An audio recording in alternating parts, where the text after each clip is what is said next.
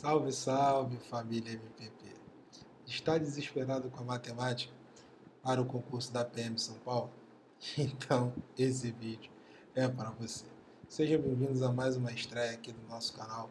Para quem não me conhece, sou o professor Marcão e junto com o professor Renato Oliveira, através do método MPP, ajudamos nossos alunos a transformar sonhos em realidade nesse vídeo de hoje, tudo lindo, tá aqui, ó. PM São Paulo, repete aí na sua casa. Se quiser ser aprovado, então assista essa aula. Repete aí, ó, para cima deles. E não deixe o inimigo agir. Ó, juntos conseguiremos essa vaga, eu tenho certeza disso. Mas antes de começarmos, baixe o material da aula e inscreva-se em nosso canal. E claro, né, ative as notificações.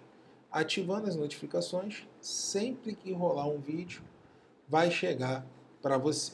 Legal? E agora, pessoal, vamos ao nosso combustível. Vamos a mais um relato de um membro da família MPP. E esse depoimento eu tenho certeza que você vai gostar. Professor Marcão e Renato, vocês são demais eu era ruim mesmo em matemática. Saí com aquela matemática do ensino médio da tia Teteca. Ensinou. E ainda achando que dava para fazer concurso. Já prestei três concursos da PM e sempre fui ruim, ó. Preste atenção nisso aí, ó. Em matemática, minha média sempre era 2 ou 3 pontos de 12. Depois que conheci vocês e aprendi o método, Nesta última prova, tirei 8 de 12. Olha a transformação. As quatro questões que eu errei foram por falta de atenção, pois com vocês vi que é possível quebrar este tabu de que não sei matemática. Obrigado por tudo, por esses seis meses de aprendizado. Churras da posse estão convidados. Lucas Santos. Lucas, muito obrigado pelo seu depoimento. E eu tenho certeza que esse só foi o início. Internamente, dentro da PM, tem vários concursos, né? Para você fazer prova para sargento, até mesmo né, para oficial futuramente. Vamos juntos nessa caminhada e, como eu falei, isso aí é só o início. Isso pode acontecer com você, pessoal? Com certeza. Ah, Marcão, isso vai acontecer comigo em novembro? Isso pode acontecer comigo? Sim.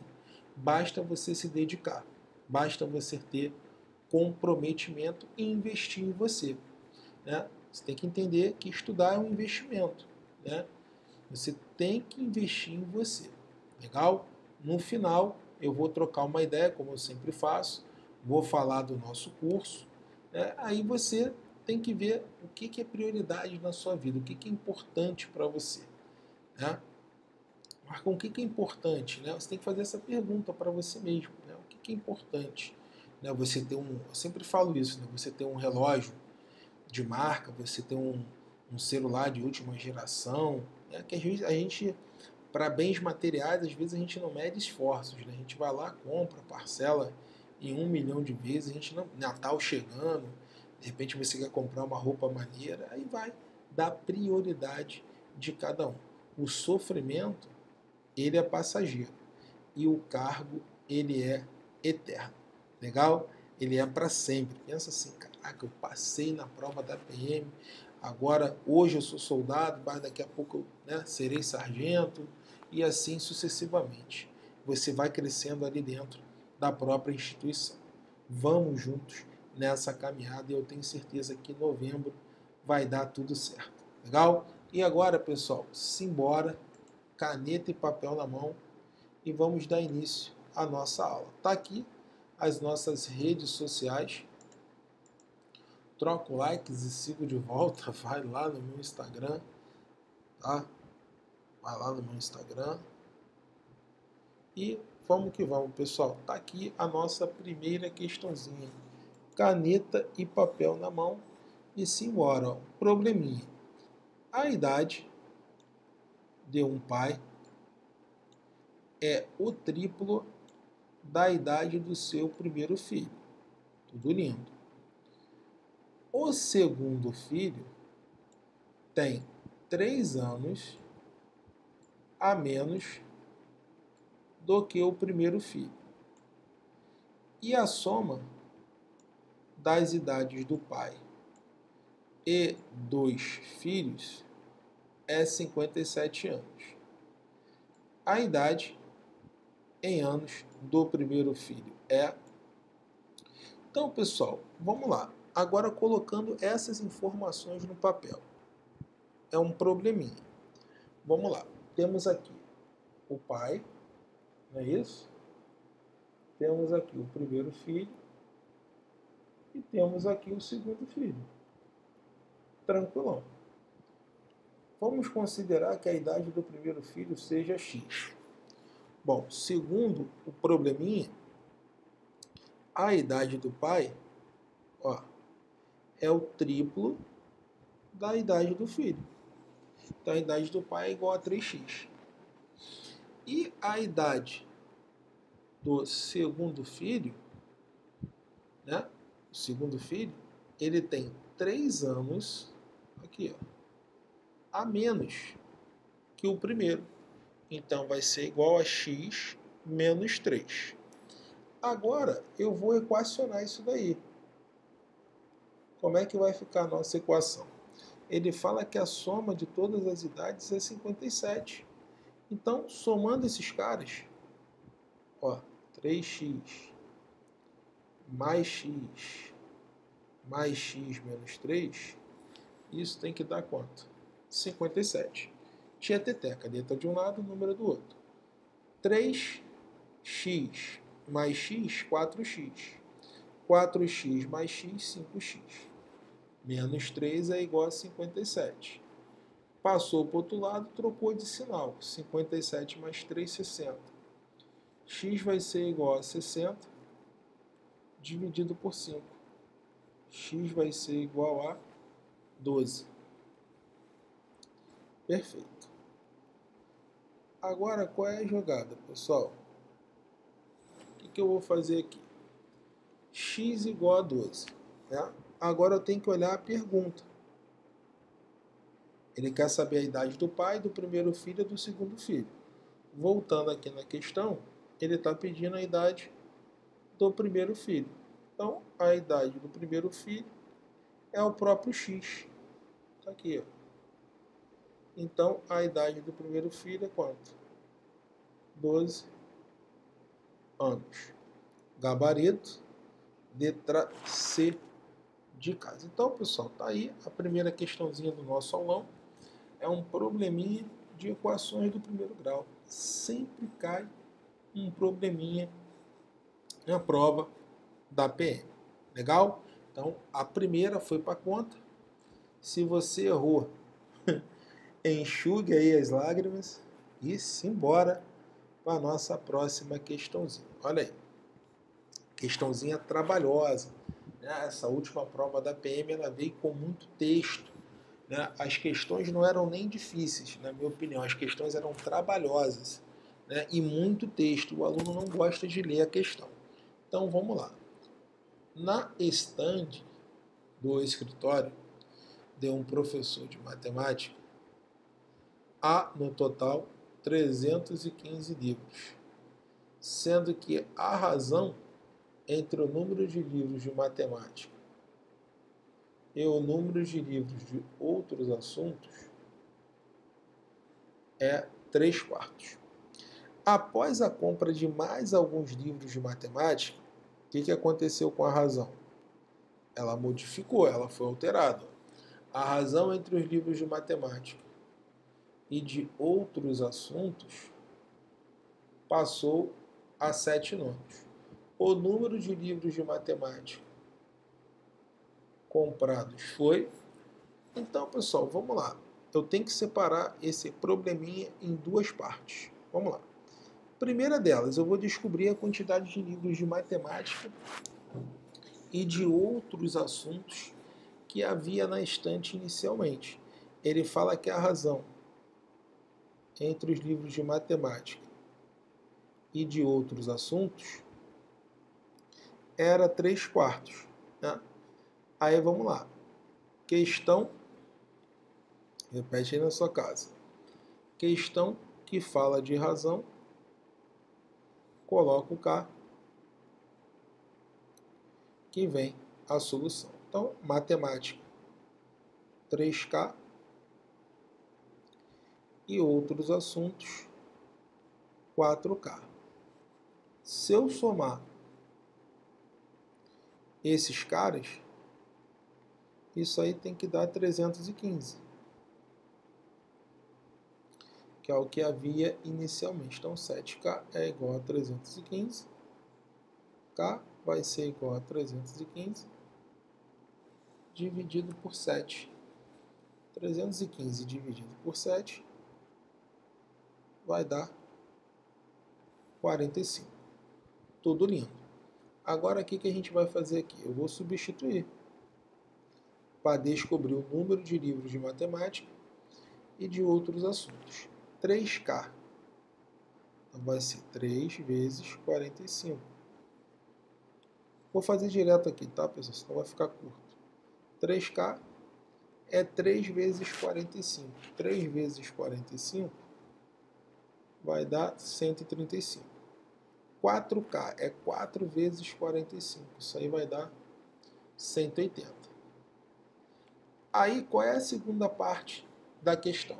É quando ele fala que ele comprou mais livros de matemática. Quantos livros de matemática ele comprou? Não sei. Então eu vou chamar de X. Então agora ele não tem mais 135 livros de matemática.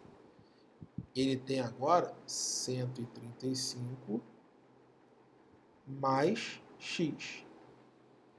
Essa é a quantidade de livros que ele tem agora de matemática. 135 mais X. E a quantidade de livros de outros assuntos permaneceu a mesma, ou seja, 180. Só que a razão mudou. Ela passou a ser agora quanto? Ser igual a quanto? 7 nomes. Então, pessoal, tá aqui, ó. Cruzou, multiplicou. Vai ficar 9, que multiplica 135 mais x, é igual a 7 vezes 180. 7 vezes 180, 1260. Aplicando aqui a distributiva, vai ficar 9 vezes 135. Faz a continha aí, ajuda o tio Marcão. 9 vezes 135 vai dar 1215. Mais 9x igual a 1260. 9x vai ser igual 1260 menos 1215. Isso aí vai dar 45. Aí eu vou fazer a continha lá em cima. Vai ficar x igual a 45 dividido por 9. 45 dividido por 9 vai dar quanto? 5. Então, pessoal, quantos livros de matemática esse cara comprou? 5. Vamos lá marcar o V da vitória? Gabarito, letra bravo. Legal? Então, questãozinha difícil? Na minha opinião, ela não foi difícil. Ela foi o que, pessoal? Trabalhosa. Então, engole o choro e passamos aí para a próxima questão. Vamos lá. Em uma casa, há dois quartos. O quarto A é um quadrado e o quarto B é retangular, conforme mostra as figuras cujas medidas estão indicadas em metros. Aí temos aqui a figura A, temos aqui a figura B. Eu vou até aumentar um pouquinho aqui para você visualizar melhor. Aqui é um quadrado de lado x e aqui é um retângulo x por 4. Aí vamos lá, o que, que acontece aqui? Sabendo que o perímetro do quarto A tem 2 metros a menos do que o perímetro do quarto B, então o perímetro do quarto B é. Aí vamos lá, pessoal. Qual é a jogada? Perímetro é a soma dos lados. Como o quadrado ele tem quatro lados iguais, então o perímetro aqui vai ser igual a 4x. Tá? Esse é o perímetro do A. Perímetro do B. Como é um retângulo, método MPP. Vai ser o dobro da soma das dimensões. Então vai ser 2, né, é o dobro, que multiplica x mais 4. E assim a gente ganha tempo na prova. Ah, Marcão, fui somando um a um. Beleza. Só que aqui eu estou te passando aqui a visão. Aí vamos lá, pessoal. Tudo lindo. Agora é colocar no papel o que ele está falando. O A tem 2 a menos que o B. Então o A, que é 4x, vai ser igual ao B, vai ser igual ao B menos 2. Agora, matemática básica. O que a gente vai fazer aqui? A gente vai fazer a continha. 4x é igual. Distribui, vai ficar 2x mais 8 menos 2. 4x menos 2x vai dar 2x. 8 menos 2 vai dar 6. Então, x, x vai ser igual a 6 dividido por 2. x vale quanto? 3. Então, se eu achei o valor de x, eu encontrei a resposta. Ele está querendo o perímetro do B. O B é 2 que multiplica x mais 4. Então, aonde tem x, eu coloco 3. Lindo. Vai ficar 2 vezes 7. 2 vezes 7, 14. Então, o perímetro do quarto B vale quanto? 14 marcando o V da vitória, gabarito, letra A. Então, pessoal, prova da PM, toda prova cai uma questão de áreas e perímetros, né? E essa última prova também caiu uma questãozinha. E sempre falando de quê? De quadrado e retângulo. Manteve o mesmo padrão. Legal? Então, passamos aí para a nossa próxima questão. Vamos lá. E aí, pessoal, tá tudo lindo? Vocês estão gostando aí desse aulão? Maravilha, né? Então, vamos lá. Dois retângulos, ó, mais uma de geometria. Tem lados maiores, medindo 8, e lados menores, medindo 3.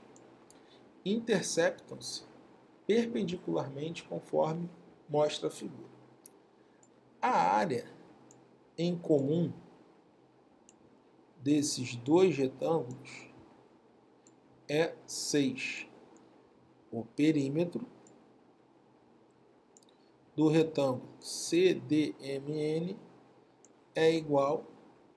Então, vamos lá, pessoal. Os dois retângulos né, têm medidas 8 e 3. Então, menor, a menor dimensão vale 3 e a maior dimensão vale 8.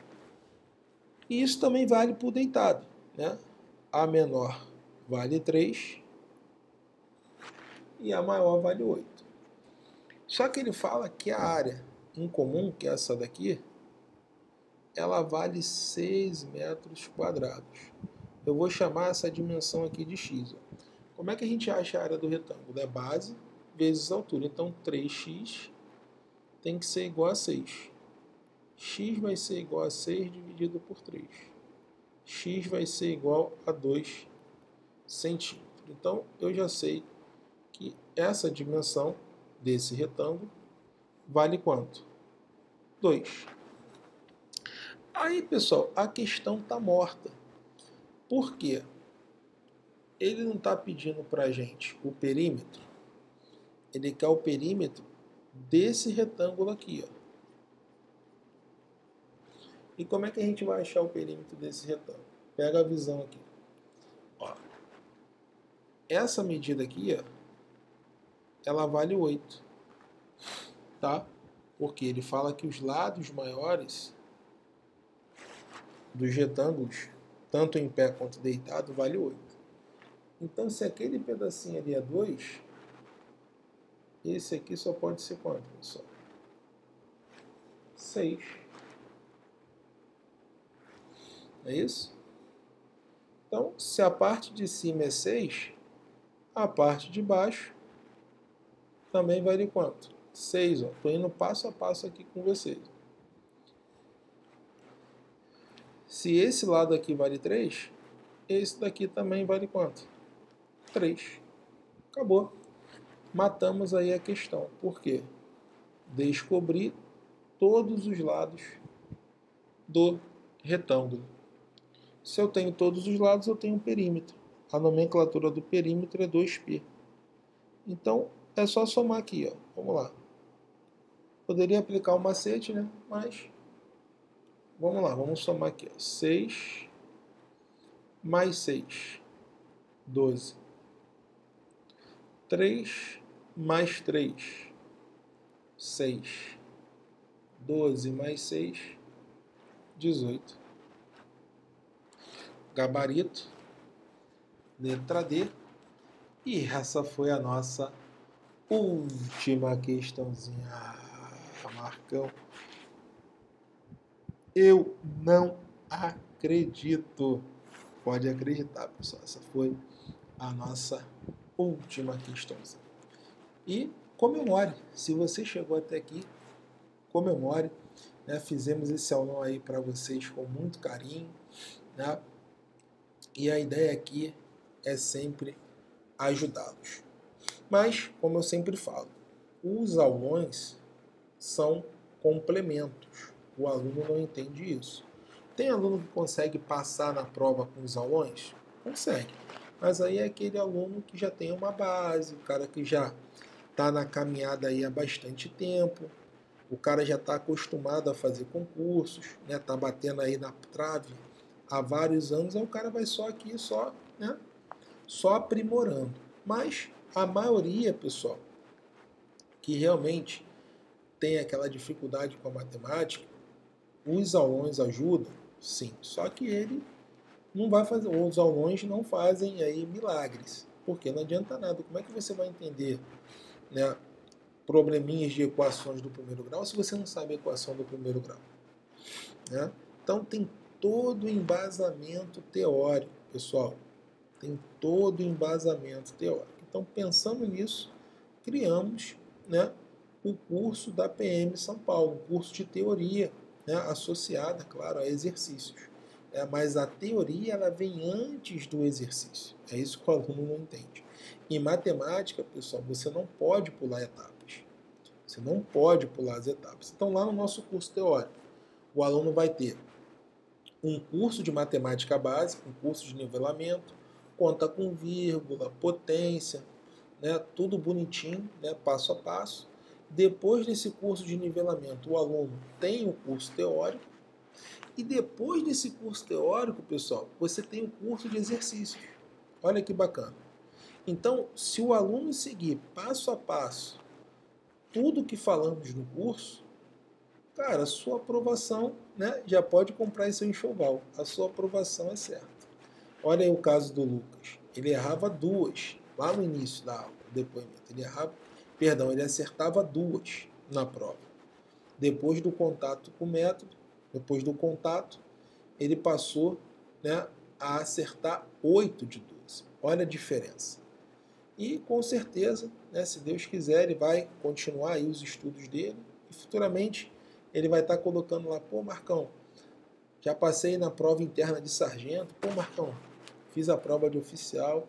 Essa é a mentalidade, essa é a nossa filosofia, né? Sempre almejar algo mais. E estamos juntos nessa caminhada com vocês. Se você está interessado nesse curso, clica aqui, ó, na descrição do vídeo tem o link.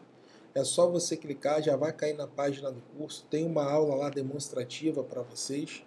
E temos também lá, pessoal, informações sobre o curso. Né? Falei aqui, né, meio que superficialmente, mas lá você vai ter todas as informações. Esse curso está com bastante bônus. E lá no final tem o valor do seu investimento. É um investimento mega acessível que vai mudar a história da sua vida. E qualquer dúvida que você tenha, entre em contato com a nossa central de atendimento. Temos um número de WhatsApp, né, que está aqui na descrição do vídeo, e temos aqui as nossas redes sociais, página do Facebook e Instagram. Legal? Então, pessoal, é isso aí. Vamos à nossa mensagem. Olha que mensagem bacana. A única maneira de conseguir o que você quer neste mundo é através do trabalho duro. Não adianta também você comprar o curso, né?